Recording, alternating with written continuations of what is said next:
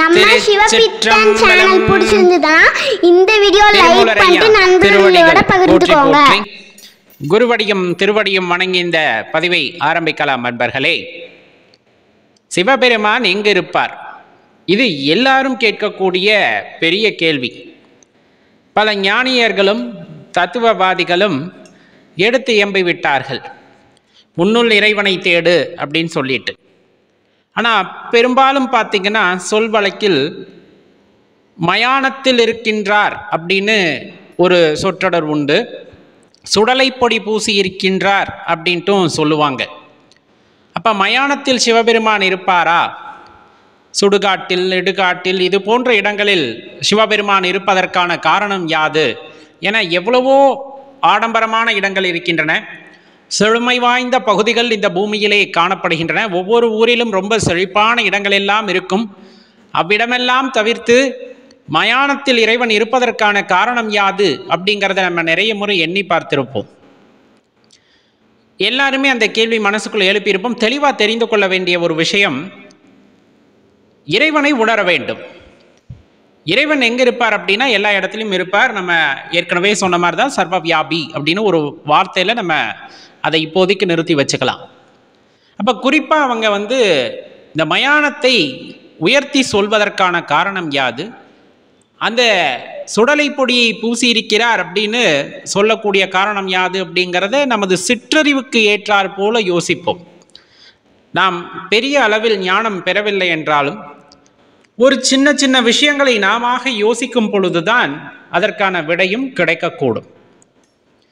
எல்லோருமே பாடும்போது அதை சொல்லியிருப்பார்கள். சுடலை பொடி பூசி அப்படின்னு சொல்லிட்டு மயானத்துள் இருக்கின்ற இறைவன் அப்படின்ட்டு சொல்றாங்க இல்லையா? அந்த மயானம் அப்படிங்கிறது எதை குறிக்கிறது?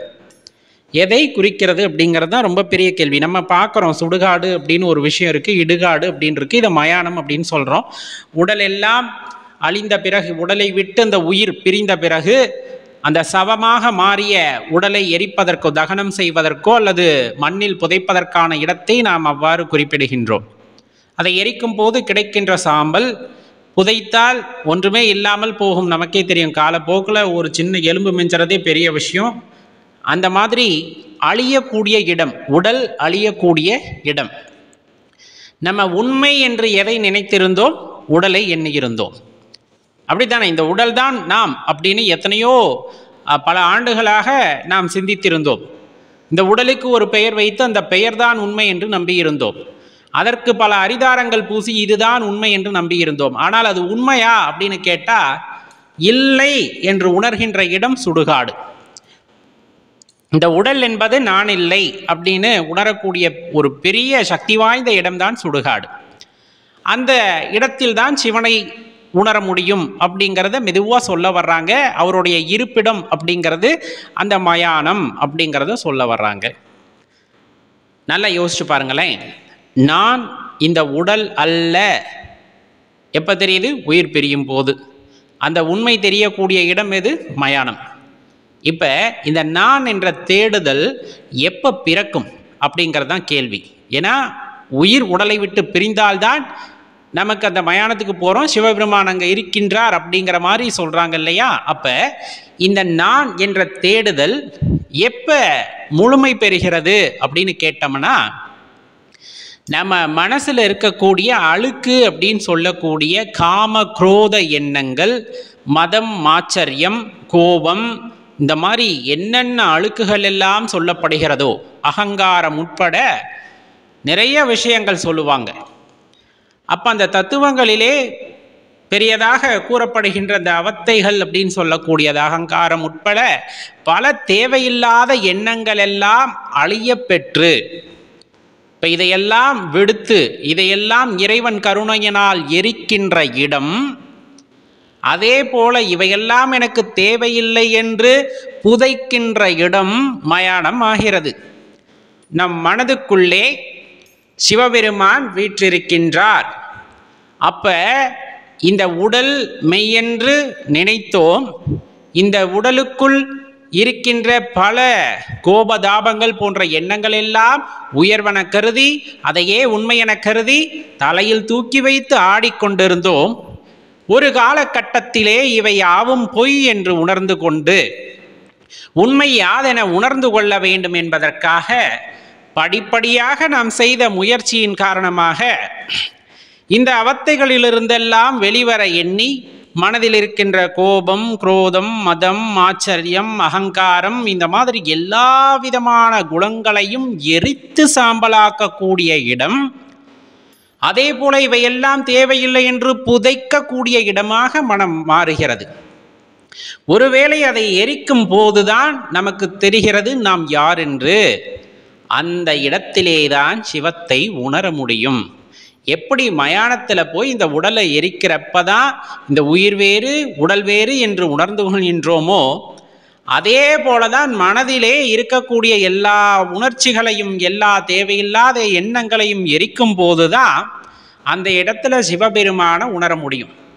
அப்ப மயானத்துள் வீற்றிருக்கின்றார் அப்படின்னு சொல்வது இரு பொருளாக நாம் எடுத்துக்கொள்ளலாம். ஒன்று உடல் அழியக்கூடிய அந்த மயானம். இன்னொன்று தேவையில்லாத குணங்களாக இருக்கக்கூடிய அனைத்து விதமான எண்ணங்களையும் அழித்தொழிக்கக்கூடிய மனம் என்னும் மயானம். இப்போ இந்த இரண்டு இடங்களிலே நம்மால் எப்பொழுது உணர்ந்து கொள்ள முடியும்னா இந்த உயிர் உடலை விட்டு பிரிந்ததற்கு பிறகு இறைவனை சென்று அடையும் அப்படிங்கிறது ஒரு விதம். ஆனால் உயிரோடு இருக்கும் போதே இந்த மாதிரி எண்ணங்களை எல்லாம் மனதிற்குள்ளே தீமூட்டி அதிலே அழித்து விட்டால் அதில் எஞ்சுகின்ற சாம்பல் சுடலை பொடியாகும். அந்த சுடலை பொடியிலே நாம் யாரை காண முடியும் என்றால் எம்பெருமான் ஈசனை காண முடியும் அப்படிங்கிறத நம்ம இப்போ எடுத்துக்கலாமா? அப்ப உண்மையாகவே சிவபெருமான் எங்க இருக்கின்றார் அப்படின்னு கேட்டா நம்ம சொல்லுவோம் சர்வவியாபி இப்ப எல்லாருமே சொன்ன மாதிரி சிவபெருமான் சுடுகாட்டில் இருப்பாரா? இருக்கின்றார். அவரை எப்பொழுது உணர முடியும்? இறந்ததற்கு பிறகு உணர முடியுமா? அப்படின்னா கிடையாது. அதுவரையிலும் பொறுத்திருக்க வேண்டிய அவசியம் என்பது இல்லை அப்படிங்கிறத அடிப்படையில் புரிஞ்சுக்கணும். அப்போ புரிஞ்சுக்கிட்டோன்னா வாழும் பொழுதே அந்த மயானத்திற்கு சென்று அறிந்து கொள்ள முடியுமானா? சில பேர் பூஜை பண்ணுறேன் புனஸ்காரம் பண்ணுறேன்னு மயானத்தில் போய் பண்ணுறாங்களே அவங்களால உணர்ந்து கொள்ள முடியுமா? அவர்கள் கர்வத்தினால் செய்கின்ற எந்த விடயத்திற்கும் விஷயத்திற்கும் இறைவன் அடிபடிய மாட்டார். பின்பு எப்பொழுது உணர்ந்து கொள்ள முடியும்? வாழ்கின்ற பொழுதே தேவையில்லாத எல்லா குப்பைகளையும் மனதிலே போட்டு எரித்து அல்லது புதைக்கின்ற அந்த இடம் மயானமாக இருக்கின்றது.